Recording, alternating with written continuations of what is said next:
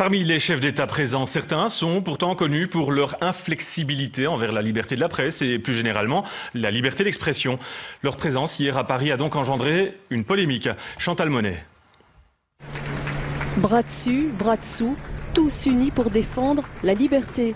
La liberté d'expression, la liberté de la presse, la laïcité. Mais à bien y regarder, certains n'ont vraiment rien de Charlie. La plupart d'entre eux sont nos clients, si je puis dire.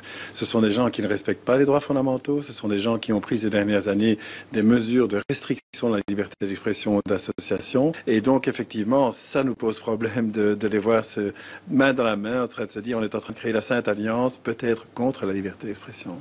Au nom de la lutte contre le terrorisme, on va se permettre beaucoup de choses. On s'en permettait déjà beaucoup, mais là, on les, a, on les a légalisés ces derniers temps et ça va encore s'aggraver sans doute.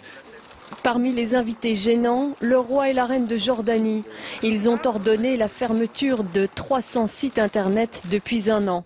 Le Premier ministre turc aura sans doute oublié le temps de la marche que son gouvernement vient d'arrêter 70 journalistes. En Égypte, les journalistes d'Al Jazeera croupissent en prison pendant que le ministre des Affaires étrangères défile à Paris.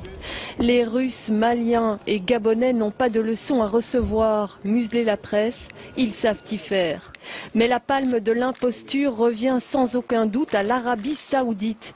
Elle a financé et formé les terroristes de l'État islamique. Vendredi, elle fouettait publiquement Raif Badawi, les 50 premiers coups de fouet d'une série de 1000 pour avoir critiqué l'islam sur son blog. Ce type est aujourd'hui fouetté en public devant une mosquée parce qu'il a osé dire ce qu'il pensait, ou en tout cas permis le débat dans son pays, sur Internet, et en même temps, les autorités qui font ça, qui pratiquent ça, eh bien, condamnent ce qui s'est passé à Paris. C'est grotesque. Charb, Cabu, Wolinski se seraient sans doute régalés en caricaturant ce bal des hypocrites.